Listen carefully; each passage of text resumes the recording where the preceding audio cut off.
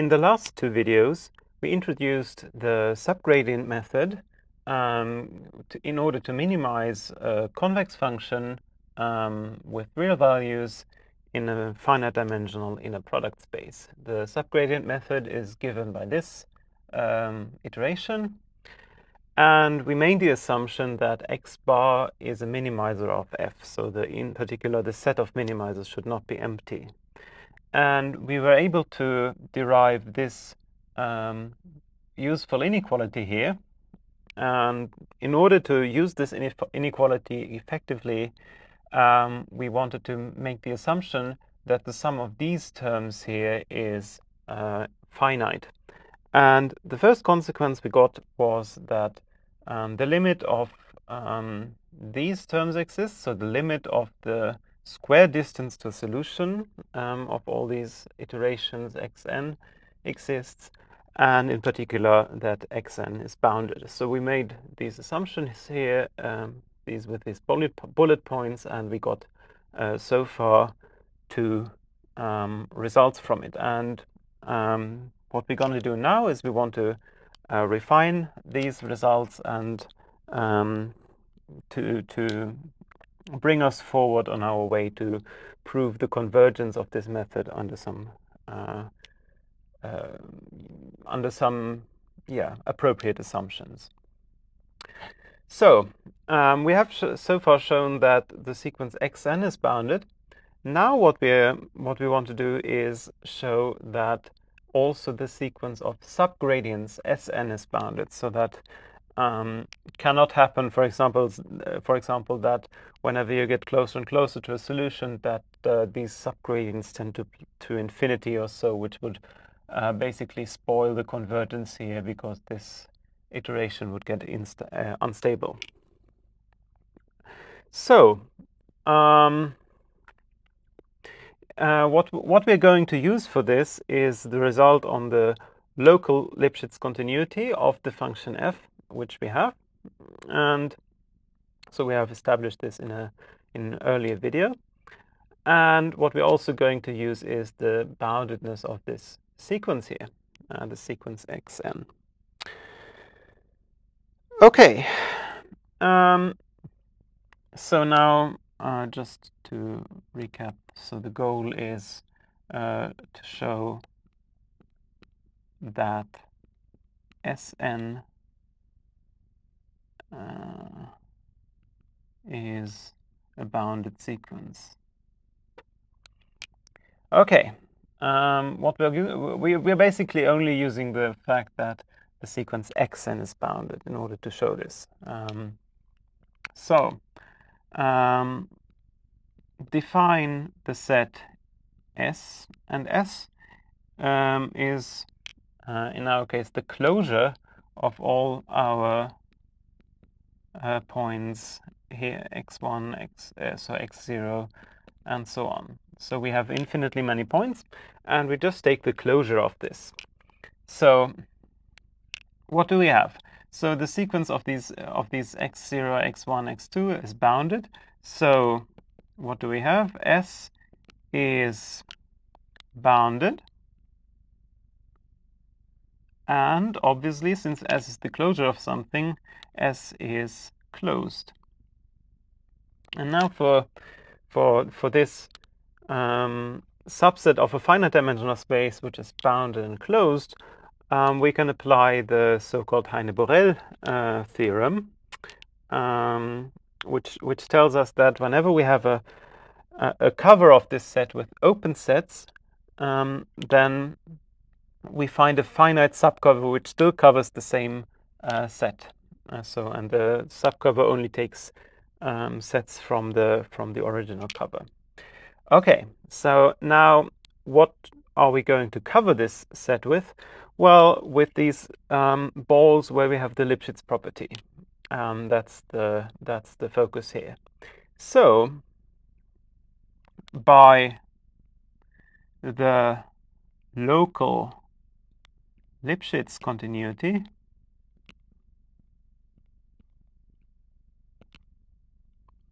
of f on the interior of the domain And we are lucky since we assume that it only has real value.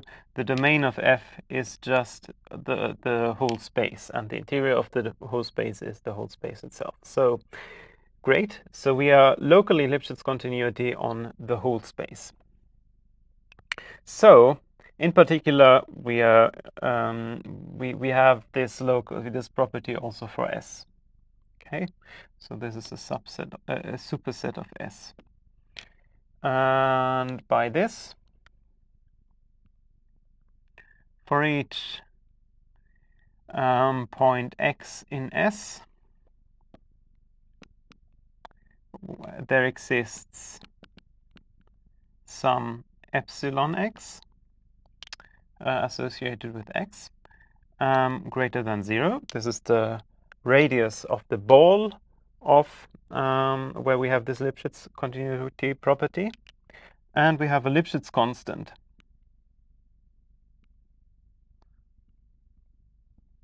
So uh, this means that f is Lipschitz continuous with constant Lx on the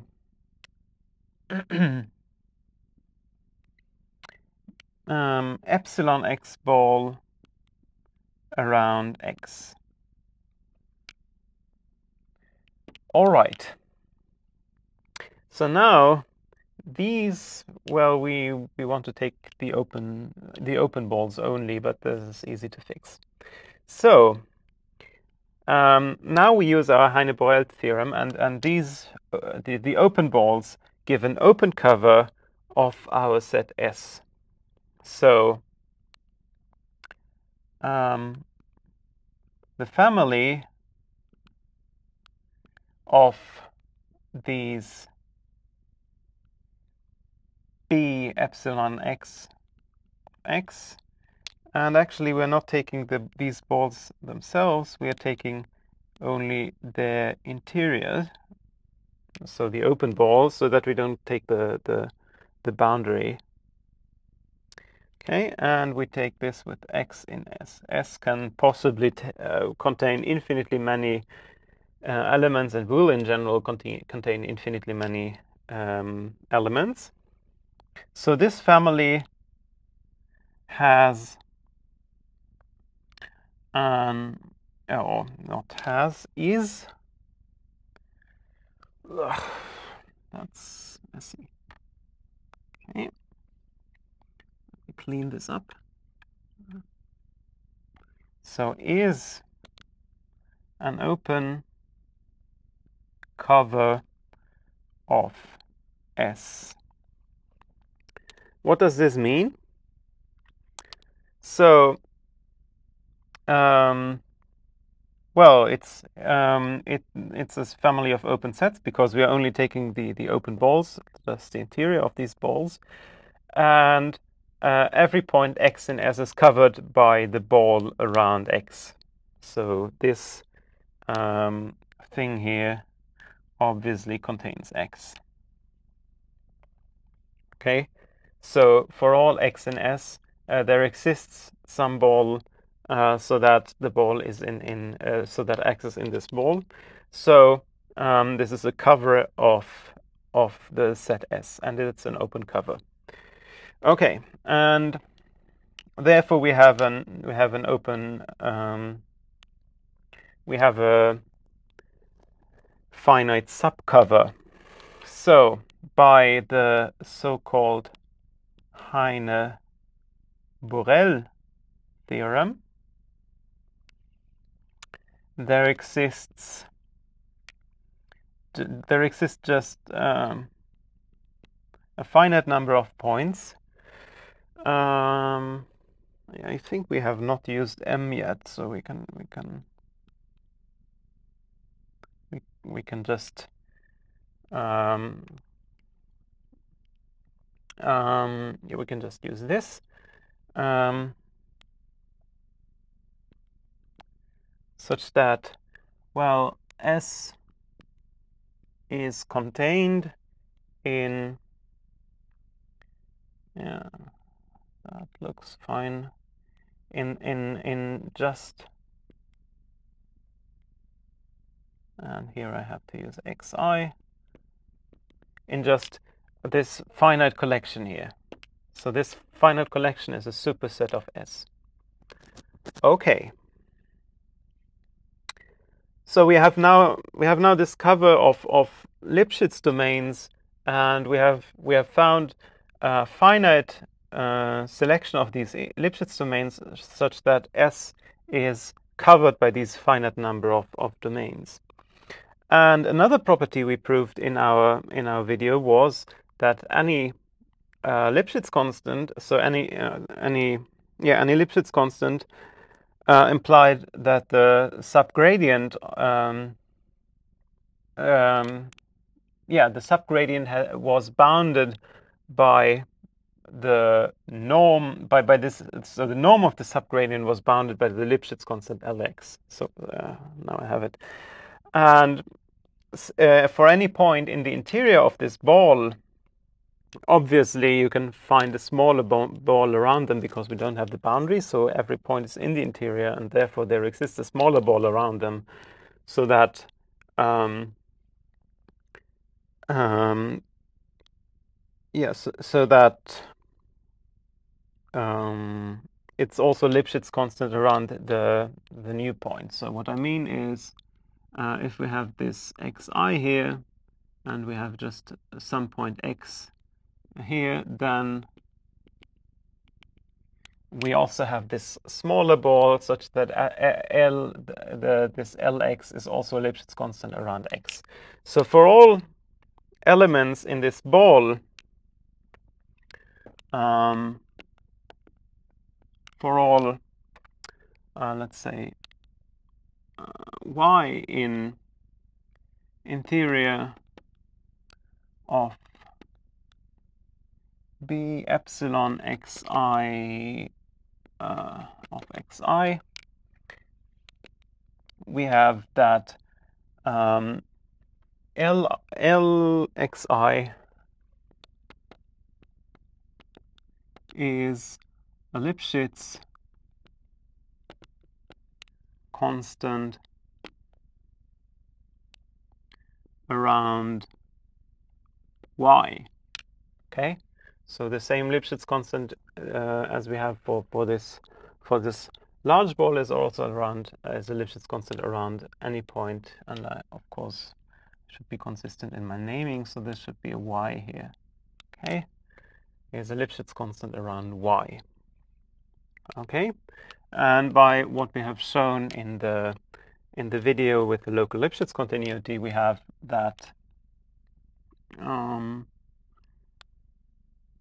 uh, the norm of S is less or equal than Lxy for all y in this interior b epsilon xi xi. Okay. So this means that we have um, we have a bound for, for for the norm in each of the balls, and we have that S is covered by a finite number of, of such balls, so that we can say, well, let L, capital L, be um, the maximum of these Lipschitz constants. So the maximum of uh, Lx1 till Lxm. So we have a finite number, so this maximum is also um, a real number, as are these Lipschitz constants. Um, so this means that um, for all y in the set S. Uh, what do we have? We have this is the, the union of, of this finite number of balls. So there exists um,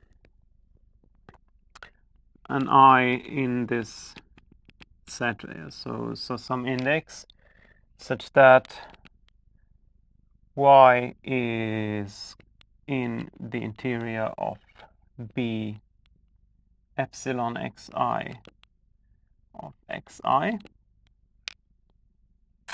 Okay. So for all y in S, and now we use this property, and all S in uh, the subdifferential of f at y.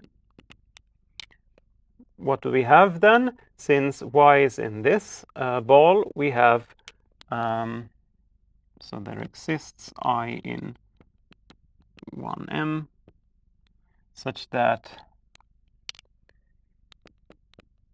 norm of s less or equal than lxi. And since um, L is this maximum, this is also less or equal than L. Okay, so now we have for all y in S and also all subgradients S in, in, in at y. Um, this does not appear in the final result anymore, this i, so the norm of S is less or equal than L. So this means, so we can we can actually, if we if we leave out this, then we can leave out uh, this existence statement for the i. Okay.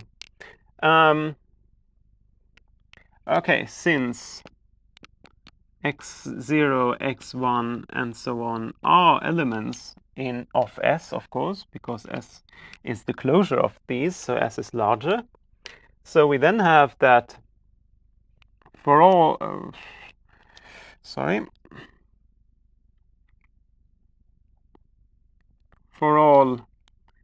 um, now we go back to, the, to our iteration, n greater than or equal than 0, we have that Sn is, d, is in df of xn, and so Sn is in df of xn, and xn is in S. So we have norm of S less or equal than L. Okay. So, what we have now proven is that, um, um, of course, Sn, of course. So we, what we have now shown is that um, this uh, the norm of all of these uh, uh, SNs in our iteration is less or equal than L, L is a real number, and therefore this means that um, the sequence Sn is bounded. Okay, so this was what I wanted to show for now, and the next point will be to further um, milk our cow this, this inequality here, and then we will also use um, the function value uh, in this inequality. Um, and by this, uh, we will get get a lot of get a lot of a lot more information, and we will also see where uh, what the relevance of the boundedness of these subgradients is.